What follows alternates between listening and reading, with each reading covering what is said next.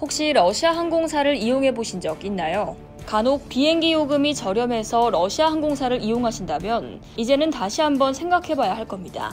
159명을 태운 러시아 우랄 항공 여객기가 소치에서 옴스크로 향하던 중 서부 시베리아 노보시비르스크 지역에 비상 착륙했습니다. 러시아 항공기들은 최근 잇단 기체 결함으로 비상 착륙을 이어가고 있는데요. 이는 서방의 제재로 인해 항공기 부품 등 수입이 막히면서 정비가 어려워져 일어난 현상으로 보입니다.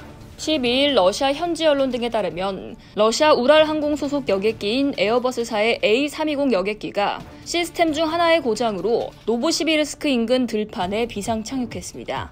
에어버스 측은 제재로 인해 오래전 러시아 기업과 통신을 중단했기 때문에 고장에 대한 책임이 없다고 밝혔다고 러시아 언론 측은 전했습니다. 우랄 항공의 총 책임자는 여객기의 비상 착륙 원인은 유압 시스템의 고장 때문이었으며 별다른 외부 고장은 없었다고 밝혔습니다.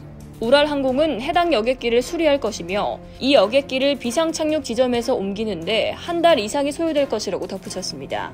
또 탑승한 승객 전원에게는 10만 루블이 지급됩니다. 이번 사고는 서방의 러시아 제재로 이미 예견된 수순이었는데요. 현재 러시아에서 운영 중인 민항기는 총 696대로 이 중 77%는 미국의 항공기 제작사 보잉과 프랑스의 에어버스 SE가 제작한 것으로 알려졌습니다. 지난 12월 러시아 중앙은행 발표에 따르면 러시아 여객 수송량의 97%는 서방 국가가 제조한 항공기가 맡고 있습니다. 지난 4월 미국 월스트리트 저널은 1년 넘게 이어진 서방권의 제재로 이 민항기들을 점검할 방법이 사라졌다고 보도했습니다. 러시아는 항공기 제조 정비사는 물론이고 엔진에서 착륙 장치에 이르는 핵심 부품 공급 업체들과도 연이 끊긴 상황입니다. 유지에 필수적인 정기적인 소프트웨어 수정과 업데이트까지 불가능해졌습니다. 월스트리트 저널은 러시아 민항기 중 수백 대의 상태가 한계에 달했다고 분석했습니다. 정기 점검이 막힌 가운데 한계에 봉착한 민항기는 올해만 수백 대 더 늘어날 조짐입니다. 항공정비 소프트웨어 전문사 트러스트 플라이트 LTD의 칼 스티브스 최고 경영자는 러시아의 비행기 운항과 유지가 더 힘들어질 것이라고 전망했습니다. 통상 민항기 점검은 짧게는 2년, 길게는 6에서 10년 간격을 두고 이뤄집니다.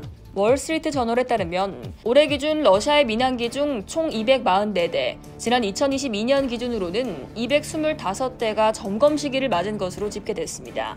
에어버스 SE의 CEO는 지난 2월 민항기 운영 방식이 다소 우려된다며 부품 결핍과 더불어 일부 항공기는 유지할 수 없는 상황이라는 소식이 들려온다고 밝히기도 했습니다.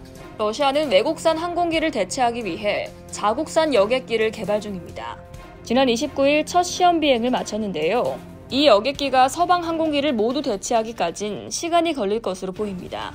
이상 여의도 TV였습니다.